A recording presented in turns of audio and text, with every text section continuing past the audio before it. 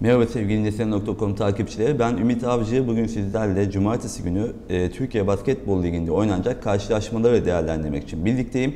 E, gün güzel bir maçta derbi ile başlıyor. Beşiktaş e, Integral Forex Galatasaray Leaf Hospital'ı konuk edecek. Saat 17'de başlayacak bu karşılaşma.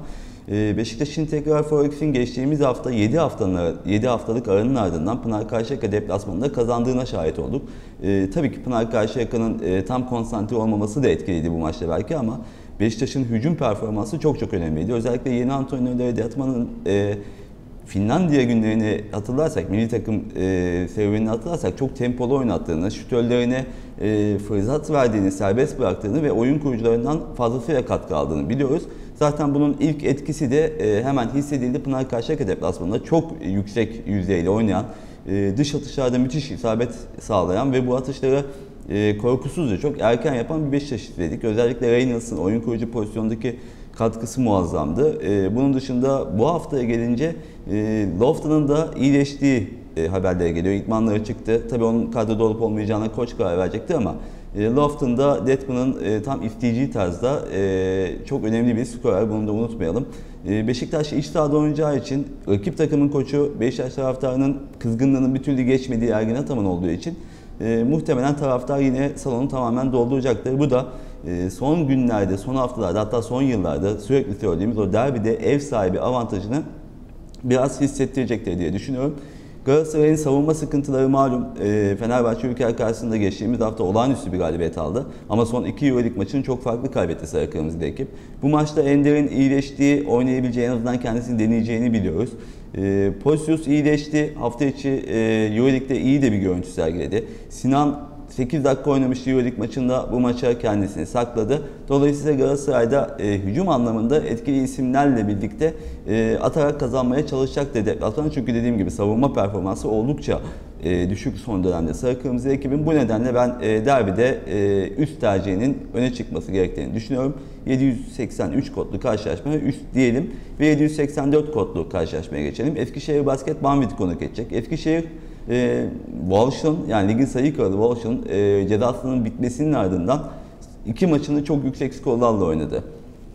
E, geçtiğimiz hafta e, Uşak deplasmanında farklı kaybetti ama yine yüksek skorlara ulaştı. Eskişehir'de e, ligimizdeki birçok takım gibi Hücum performansı çok çok iyi. Atarken sıkıntı yaşamayan ama savunma savunamayan takımlardan bir tanesi. Van ise Selçuk Aynak yönetiminde aslında savunma konusunda çok daha e, sert bir takım olmaya başladı.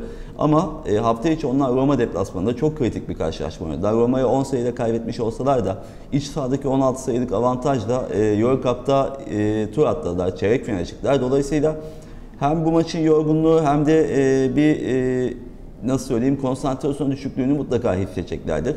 Dolayısıyla aynı savunmayı yapmalarını beklemiyorum Eskişehir'de. Eskişehir Basket'in zaten çok skorer bir takım olduğunu söylemiştik. Bu nedenle bir kez daha üst tercihine yönelin derim. Ve 785 kodlu Royal Gaziantep Tofaş karşılaşmasına geçelim. Tofaş 2 hafta önce Beşiktaş deplasmanında çok kritik bir galibiyet almıştı ve kümede kalma yarışında avantaj yakalamıştı ama e, geçtiğimiz hafta sahasında kaybetti. Sahasında Telekom'a yenilmiş olması Tofaş için yine e, kriz bölgesinden uzaklaşamamak anlamına geliyor.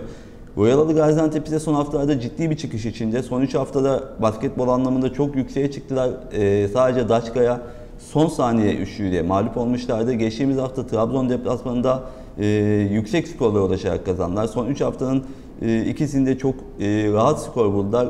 Tofaş karşısında da bunu devam ettireceklerini düşünüyorum. Tofaş Zoros yönetiminde savunmaya ağırlık veren bir takım ama oyuncu kalitesi, daha doğrusu oyuncu yapısı buna çok müsait değil. Bu nedenle bocalama yaşıyorlar. Gaziantep karşısında da e, istedikleri savunmayı yapabileceklerini sanmıyorum. Ben ev sahibi bu maçı farklı kazanır diyorum. E, bir tercihinde bulunuyorum ve e, günün son karşılaşması 786 kodlu karşılaşma. Türk Telekom Pınar Karşıyaka. Pınar Karşıyaka'da Bambit gibi hafta içi Euro Cup'ta adını 8'e yazdırdı. Ritas karşısında olağanüstü bir mücadele, çok farklı bir galibiyet ve hücumdaki müthiş tempo e, onları galibiyete taşıdı. Türk Telekom Ercüment Sunter yönetiminde zaten tempoyu seven bir takım. Bunu defalarca söylemiştik. E, her ne kadar Carter sakatlığı nedeniyle oynayamayacak olsa da e, yine de Telekom'un iç sahada e, Pınar Karşıyaka'nın temposuna ayak uyduracağını düşünüyorum. Pınar Karşıyaka son iki maçını kaybetti. Dolayısıyla burada bir sıkıntı olabilir. Yani kaybetmemek için bu kez mutlaka daha konsantre olacaktır. Daha iyi oynamaya çalışacaktır ama e, savunmayla bunu yapabileceklerini düşünmüyorum. Çünkü dediğim gibi hafta içi çok çok kritik bir karşılaşma kazandılar ve e, o karşılaşmanın zafer sarhoşluğu mutlaka devam edecektir Ankara deplasmanında da.